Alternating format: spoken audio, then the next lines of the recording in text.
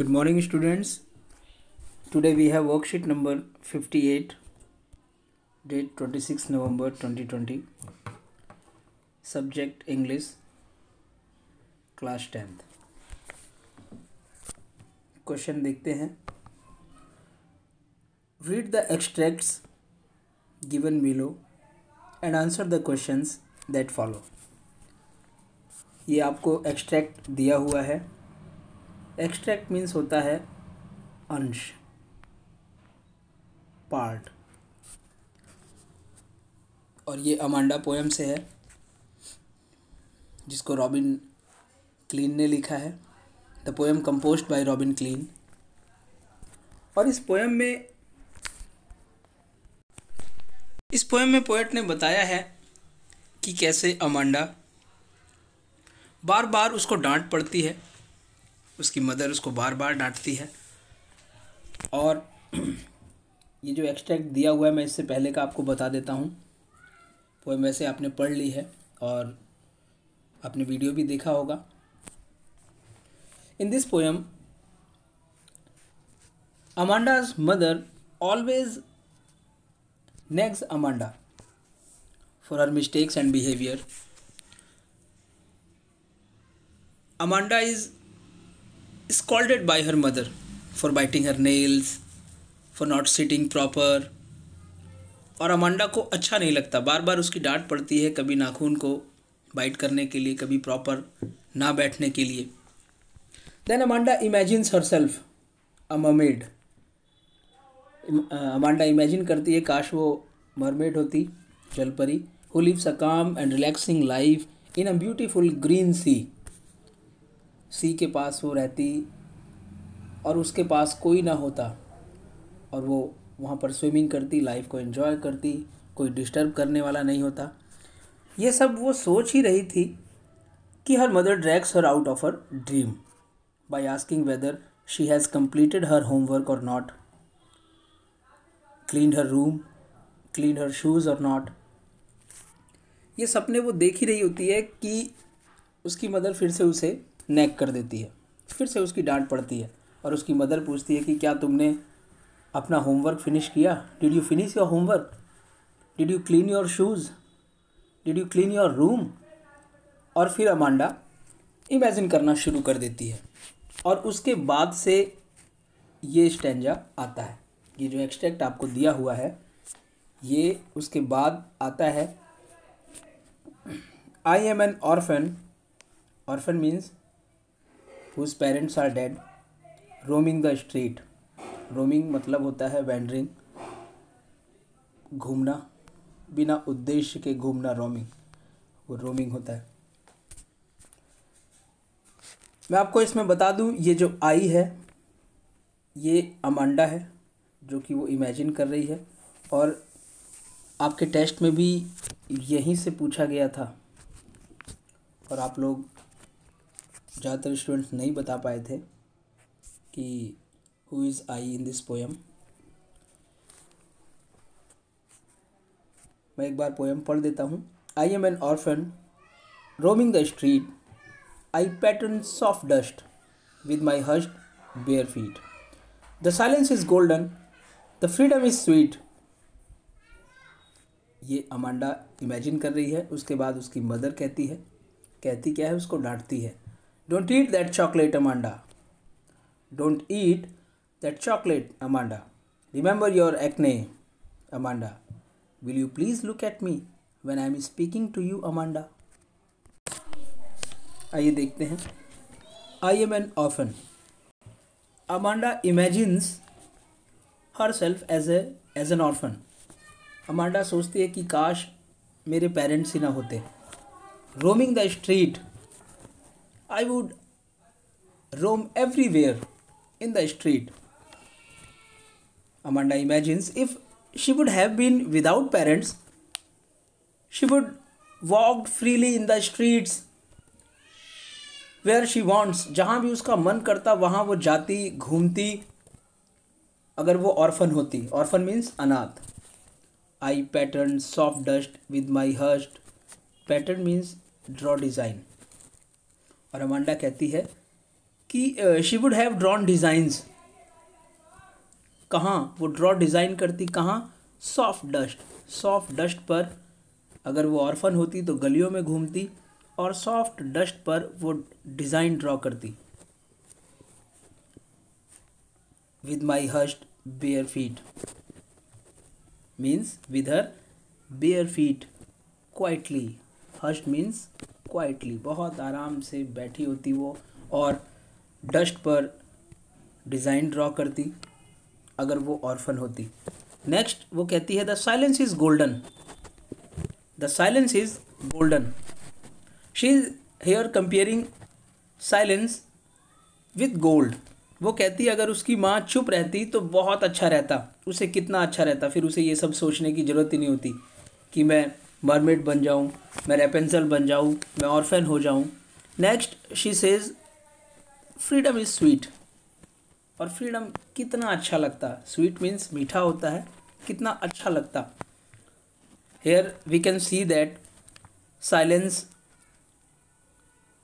is being compared with gold and freedom is being compared with sweet इसलिए यहाँ पर metaphor use हुआ है figure of speech metaphor metaphor is an implied simile where two dissimilar objects are compared with each other having no comparing words such as so as like जब दो dissimilar objects को आपस में compare किया जाता है, वहाँ मेटाफॉर होता है, और जो कंपैरिजन के लिए वर्ड्स होता है, वो यहाँ यूज़ नहीं होते, जैसा कि सिमली में हमने देखा था। सिमली में कंपैरिजन की जाती है, पर वहाँ पर वर्ड्स यूज़ किए जाते हैं, जैसे सो एज लाइक पर मेटाफॉर में ऐसा नहीं होता। The silence is golden the freedom is sweet Amanda is fed up of her mother's instructions and is scolding that she says silence is golden silence is golden which means that if her mother speaks nothing it would be better for her अगर उसकी माँ, उसकी mother ज़्यादा नहीं बोलती तो कितना अच्छा होता। And she says further freedom is sweet she says that freedom is sweet this means she feels free because we know that she wants to enjoy her life next देखते हैं। Don't eat that chocolate and again her mother drags her out from her imagination her dream फिर से उसकी माँ टोकती है, क्योंकि वो फिर से इमेजिनेशन कर रही है और उसकी माँ कहती है कि don't eat that chocolate Amanda please do not eat that chocolate Amanda is again is scolded for eating too many chocolates क्यों? Remember your acne acne means pimple क्योंकि उसकी माँ कहती है कि eating too many chocolates cause pimples will you please look at me when I am speaking to you अब Amanda अपनी mother की बात को सुन भी नहीं रही है।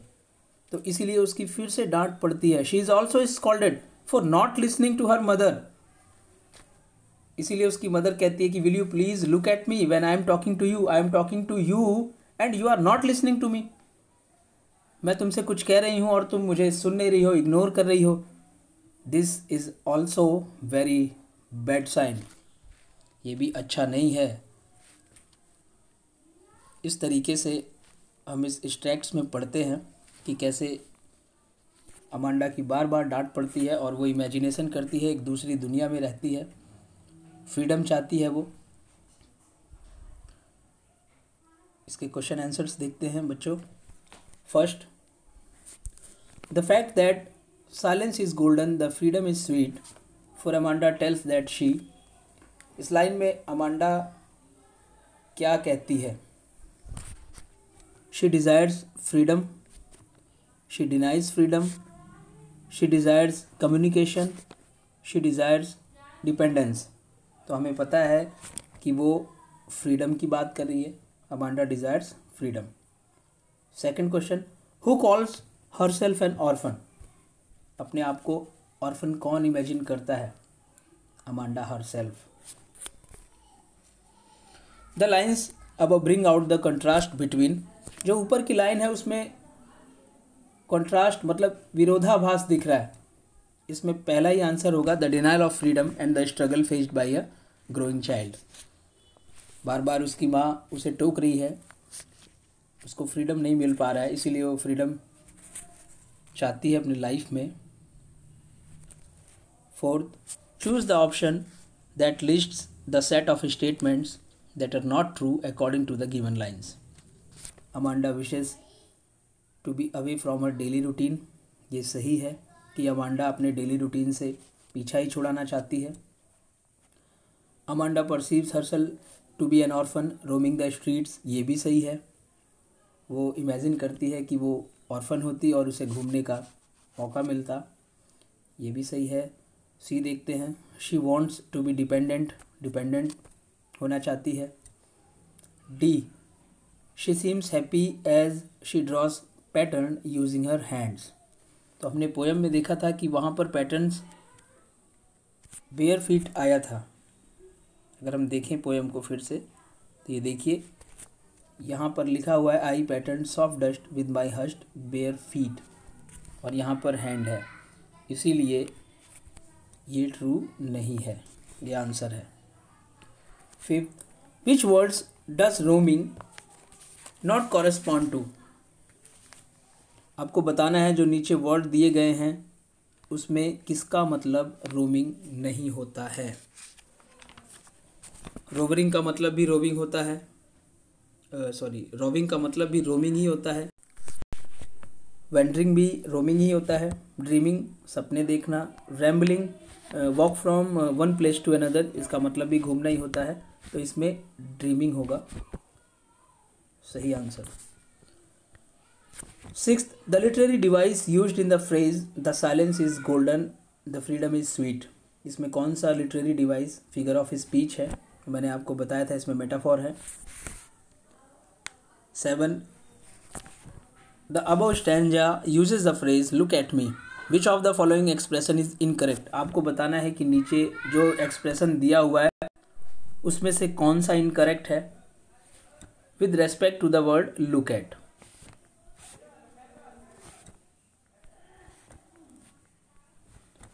पहले देखते हैं look at look at the picture ये भी ठीक है। लुक एट द बिल्डिंग ये भी ठीक है. लुक एट योर सेल्फ ये भी ठीक है. लुक एट फ्रीडम नहीं होता. लुक फॉर फ्रीडम होता है. इसीलिए ऑप्शन बी हमारा सही है.